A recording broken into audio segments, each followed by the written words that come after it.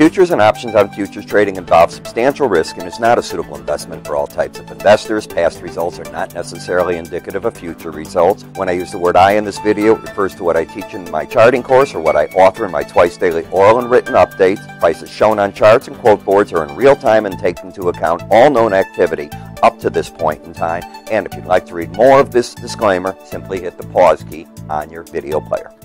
Good afternoon, all. Ira Epstein, back from vacation. I took off three business days and I'm back in. And today is Wednesday, the 5th of July, 2017. This is your agriculture update. We're just after 2.15 p.m. Central Daylight Time. The big event when I was gone was the rally on Friday that began off of soybeans when the market literally exploded due to, and I, I, think you realize what this was due to, due to the event of the USDA stocks and acreage report. And when you looked at it, first thing that happened is I've been prepping you for a long time in the previous weeks in the ag that our firm thought that wheat had put in a major bottom. Well, that's a fait accompli. Uh, you know, that, that market soared. Now what's happening is the other crops, corn and beans, you always get questions as to their condition, how much acreage actually went in, and that's what's kicking them up. And the beans continued on today with another 13 and a half cent rally, the wheat another nickel, and the corn a three and a half cent rally. Dollar index has been, if you take a look at it, stable here at the 96 level. And of course, you've seen a good sell off from the highs in the euro currency as uh, we talk about that. When I come to the weekly chart of beans, you're up 34 cents for this week, and if you go back to last week when I was uh, when I left, you were up 37 and three quarter cents. So you've had big week to week gains, which have finally kicked the market up over this previous high of 980 and a half to 981. So that's pretty strong on an area chart of closes based on daily closes, not weekly, you've gone now from 911 as a low to today's rally high close of 994 and a quarter. So you have 80, what, 83 cents of a rally. That's pretty big. If you take a look at the past two days' gains, so we come into the market and uh, we come back to, let, let's go right here to the Friday, the 30th, on these reports. Look at how the market takes off. 30 cent gain then now you add another 26 cents, that's 56 cents through Monday, and with today another 13. One of the things I had told you before I left was you often get a 50 cent plus move in soybeans off of this USDA report that came out. Go back on your history, look at them, you'll see what I'm saying. So I'm not finding anything unusual, but it's met what it normally does. The question, of course, is can it hold it? Does it fall back in to try to fill gaps in the chart? We'll have to wait and see. In terms of the swing line study, you certainly have a clear pattern of higher lows, higher highs. So the fireworks worked properly whether it was up or down, you get a big move. Number two, you're in an uptrend. You're over the 18 day average. That gives you bullish bias. And you split right through the 100 day average uh, of closes like it didn't exist. You got up to this big number. In terms of that big number, I'd be a bit cautious now. Why? Two days in a row over the upper Bollinger Band. You know, you don't stay more than five, and my rule of thumb is each day counts as one of those five percentage points as the rule of thumb. I've seen seven days in a row. Beyond that, it's very, very rare. So I look for the norms. And the norms, when you get a move like this, is at any point you can get that correction in this market and you are overbought. Bullish? Absolutely. Market might want to fill that gap in the chart and supports back at 939. Buying over an upper Bollinger Band? You can do it. I, I certainly don't teach that. When we come to the August meal, the market's now got a pattern that if you take a look, you actually have right here, and I'll show you this. On the swing line, the low of this day was 295.90. Market comes up, comes down, hits 295.80, and then goes up. So you have what's called a lower low and a higher high into the 100 day average of closes. And like soybeans, you're two days over the upper Bollinger Band. Also overbought. So are the markets getting ready to say, okay, that big thrust off that report on Friday, uh, it's been absorbed? That's the school of thought that I'm coming from. That does not mean it's not bullish. Let's understand. Everything on the chart has basically got upside momentum over the 18 day average, but you're at key resistance points, so you can get a break in this for no reason at all. Sort of like when I was talking about crude oil before I left, and I, I know I'd gone on Bloomberg and I said it was 40 under 43, and I said, you know, this market's just ready to get a bounce in it. It doesn't mean I'm bullish, a bounce. Well, these grains might be ready for a break. Doesn't mean I'm bearish. Same type of thinking. The soybean oil hit the upper Bollinger Band three days in a row, doesn't seem to be able to get over it. Still moving to the upside. It has a pattern of a lower low, and this high took out that high. So you have no trend on the swing line. You have upside bias, and you have a market with a 71.63 stochastic that is overbought. These markets might need to take a breather. In the corn market, you now have a pattern of higher lows, higher highs. Something else happened of great interest. This is called when the moving averages kiss each other, and that's what they're doing.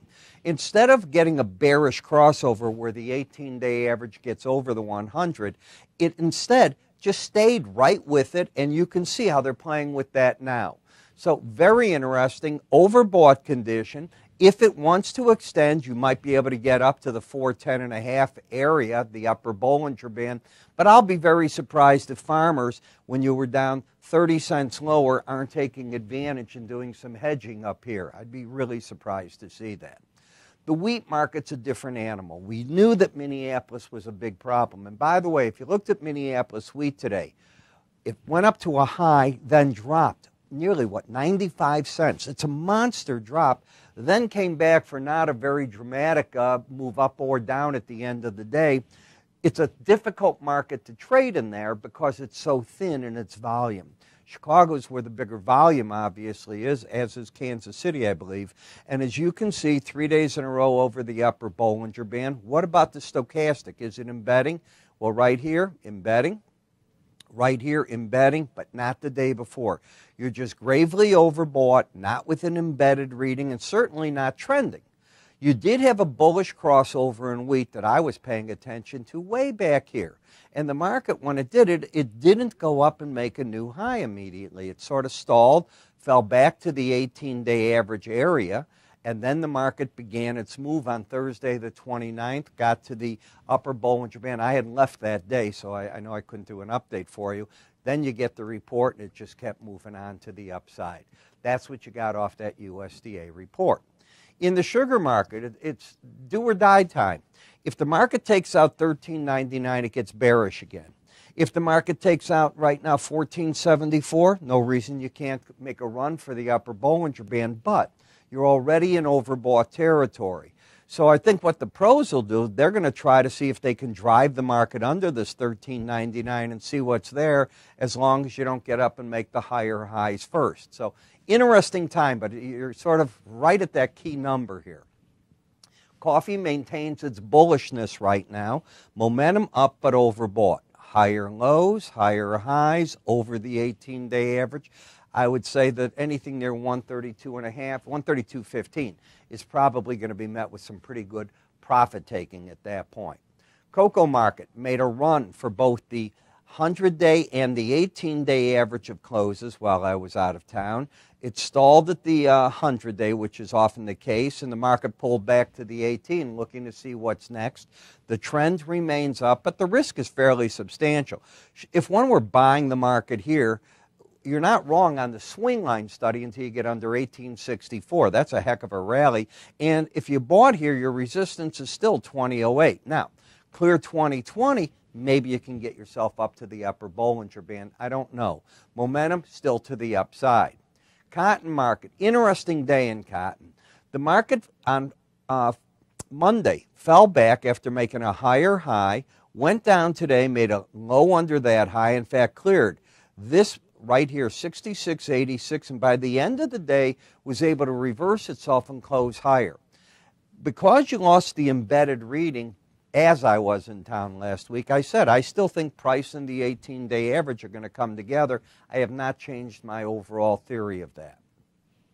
Cattle market, while I was gone, had its run to the 18 day average, peaked out on Monday, and today you're coming back down. The market has got the swing line up, but it's unable to close over the 18 day average here, and momentum Well, it's sort of drifting back to the downside. Difficult chart. Feeder cattle's an ugly chart. You've got the higher high and the lower low pattern. That's not a trend. Momentum pointing down. The bias is now down because you're under the 18 day average. Support back here at 140, let's call it 140, 100 to 140, 67 and a half. That, those are the support numbers. Obviously, a lot of traders will be looking for Chinese export business, what the cash bids are going to be. And at this time of the year, cattle's not one of the favored eating items, uh, like when you get into the cooler months. It's right now, obviously, the barbecue season. People do eat the steaks, but it's a lot of pork.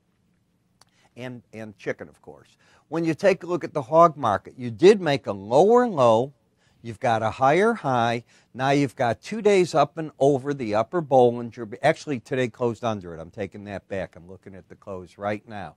So you closed back under it. You're at a resistance point. The momentum of the market is overbought, and you're not really trending.